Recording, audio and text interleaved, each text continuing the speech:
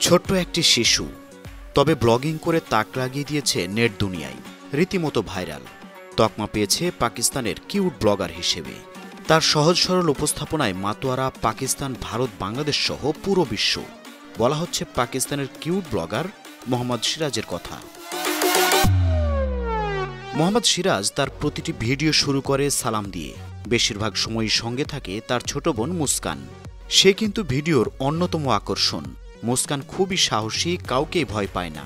দুই ভাই বোন মিলে খুনসুটি করে ভিডিওতে। সিরাজের মতোই তার ছোট বোনও দেখতে খুব কিউট ও তার কথা বলার ভঙ্গিমাও দারুণ। দুই ভাই বোন মিলে গ্রামের নানা বিষয় তুলে ধরে সাধারণ ভঙ্গিমাতেই। নজরকাড়া উপস্থাপনার মাধ্যমে সামাজিক মেসেজও থাকে তার সুন্দর উপস্থাপনায়। তাই অল্প সময়েই সবার নজর কেড়েছে মোহাম্মদ সিরাজ। যেমন তার কথা বলার ধরন, তেমনি সুন্দর তার গ্রামের ভিডিও। ব্লগাররা মূলত তরুণ বা প্রাপ্তবয়স্ক হয়ে থাকে।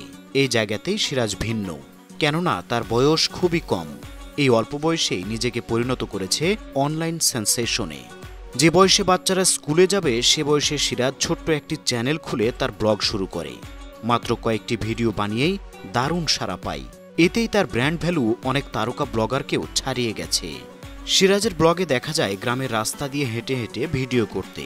কখনো বা গ্রামের অন্য কারোর সঙ্গে কথা বলছে। আবার কখনো বা তার ছোট বোনের সঙ্গে, ছাগলের সঙ্গে খুনসুটি করছে।